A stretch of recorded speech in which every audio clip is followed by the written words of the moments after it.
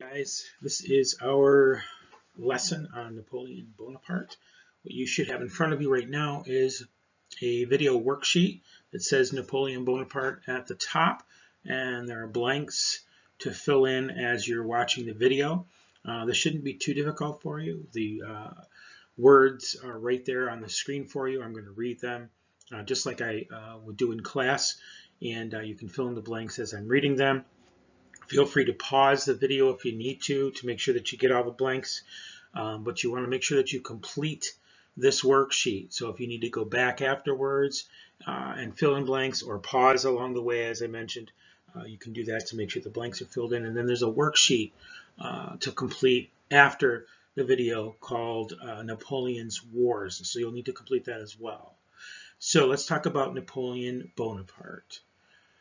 During the Revolution in France, one general in particular began to outshine all the others.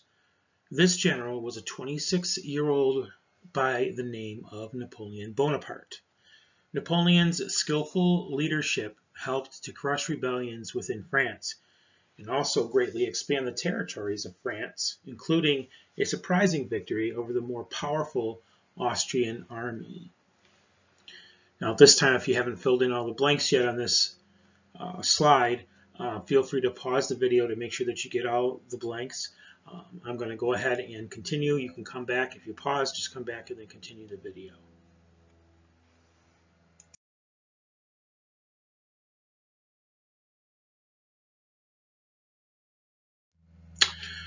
In October of 1799, Napoleon returned to Paris after having been in Egypt with his armies to take part in a coup d'etat or an overthrow of the government.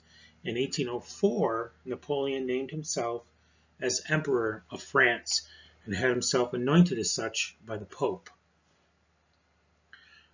Once again, you can pause the video here if you need to, uh, to complete the blanks before you come back and continue.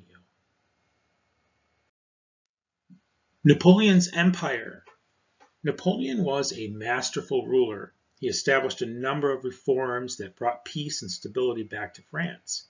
He also rewrote the old French feudal laws, which were confusing, creating a new Napoleonic code of laws that were much clearer.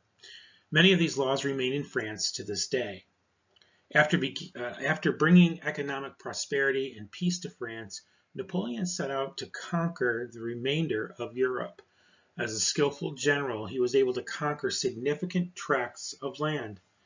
By 1812, Napoleon controlled most of Europe, either directly or indirectly. Once again, this is a good place to pause your video if you still need to complete the blanks for this uh, slide in the presentation, um, and then come back and continue the video.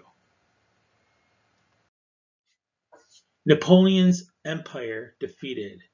The nations that had been conquered by Napoleon resented being ruled by France.